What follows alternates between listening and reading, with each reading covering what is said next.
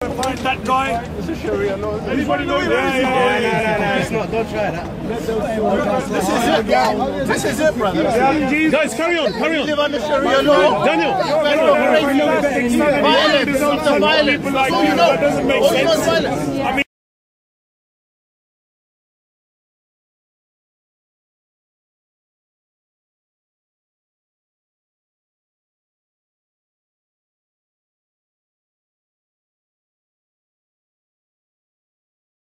You know, we got people over here right now, right, making nuclear weapons. Do you know what I'm saying? Africans aren't making nuclear weapons. I've always said to people, um, the axiology, talk about axiology a lot, and what people find valuable, and you will find that the European nations and the Arab nations have a different view of human life. They do.